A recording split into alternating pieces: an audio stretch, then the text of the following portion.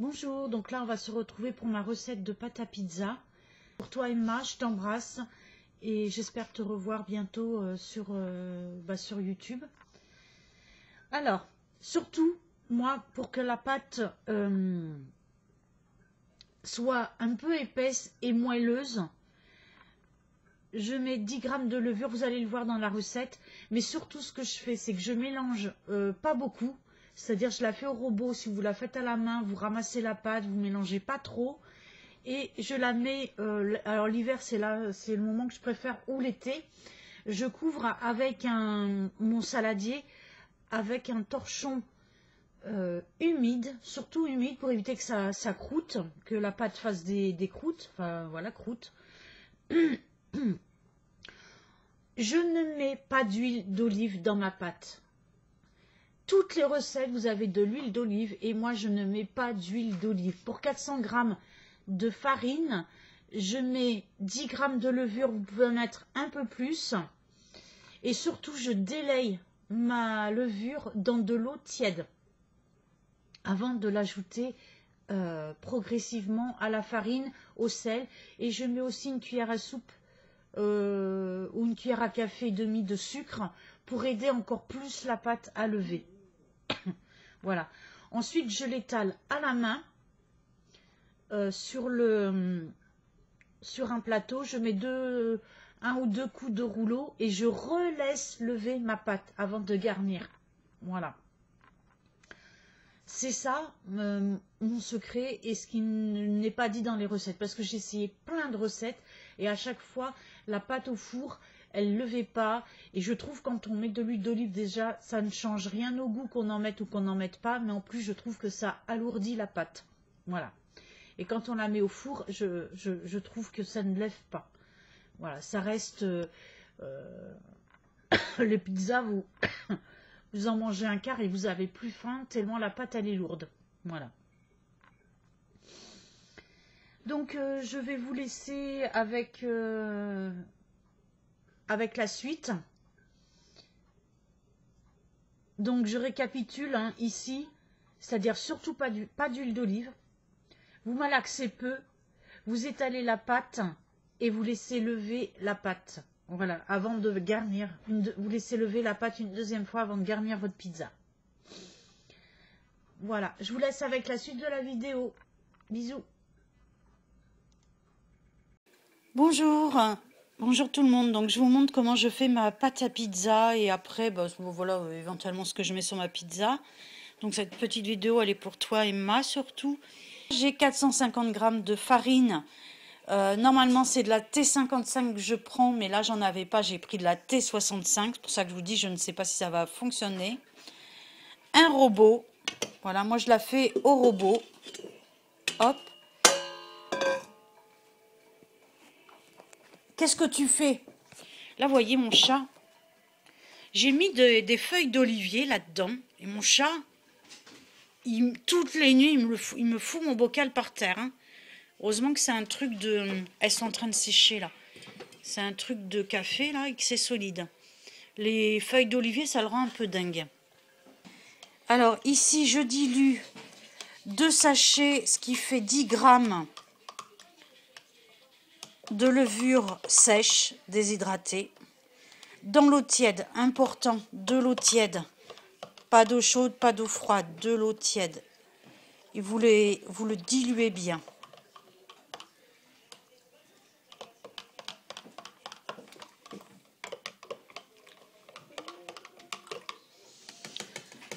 Donc ça, c'est ce que je vais rajouter petit à petit à ma pâte.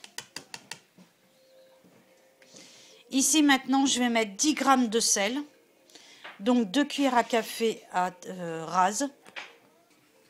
Une première et je la, mets, je la mélange dans la farine. La deuxième. Alors, normalement, je l'ai réussi mieux l'hiver parce que je vais, je vais mettre ma pâte à pousser devant la cheminée. Ou alors l'été quand il fait bien chaud. Mais à la demi-saison, ma pâte pousse pas, moins bien. Et là, je vais rajouter une cuillère à café de sucre pour aider encore plus la pâte à pousser. Ça, c'est la cuillère à café de sucre, vous ne l'avez pas dans toutes les recettes. Bon, je vois que ma vidéo a coupé. Donc là, j'ai 450 g de farine T65, 2 cuillères à café de sel et j'ai mis une cuillère et demie, euh, voire deux de sucre et 10 euh, g de levure boulangère déshydratée. Donc là, hop, je mets sur un, ça tourne doucement et je verse petit à petit.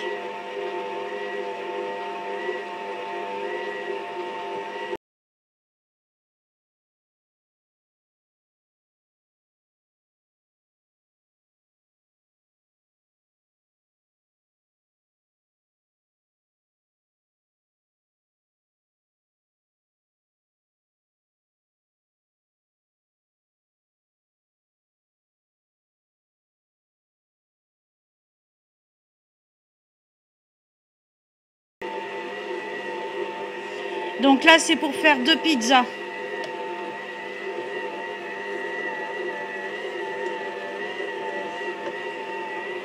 Donc voilà, je vais attendre que, là j'ai plus beaucoup de batterie, je vais attendre que tout, euh, la pâte se ramasse. Et je vais la couvrir dans mon saladier avec un torchon humide que je vais laisser devant la cheminée pour que ça lève bien. Voilà. Euh, il ne faut pas beaucoup la malaxer. Si vous le faites à la main, il ne faut pas beaucoup la malaxer. Voilà, donc là, j'attends que ça se ramasse. Et je vais mettre mon saladier au repos. Et mon téléphone à charger. Voilà, donc là, on se retrouve une heure après. Donc, comme vous pouvez le voir, ma pâte, elle a bien, bien, bien, bien gonflé. Je vais euh, la dégazer un tout petit peu, la diviser en deux.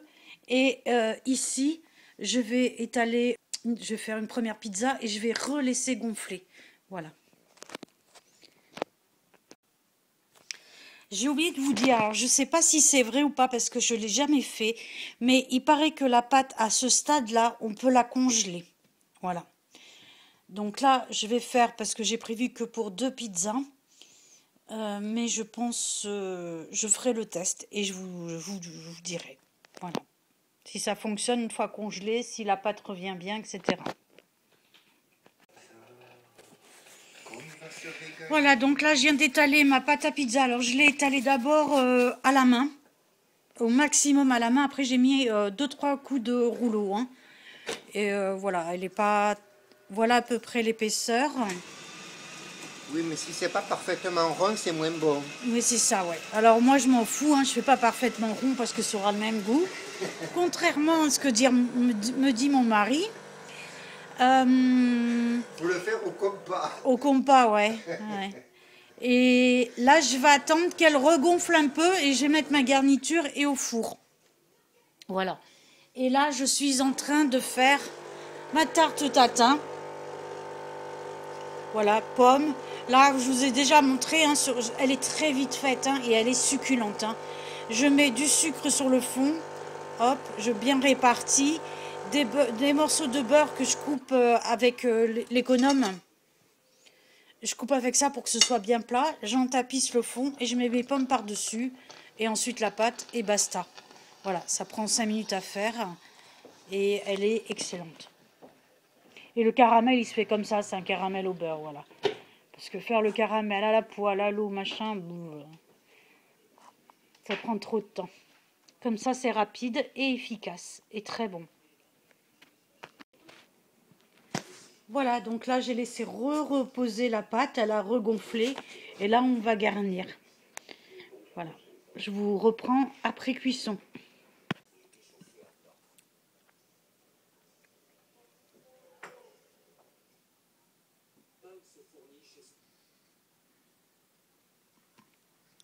Ma, ma pizza, j'ai oublié de vous la filmer hier j'avais plus de batterie.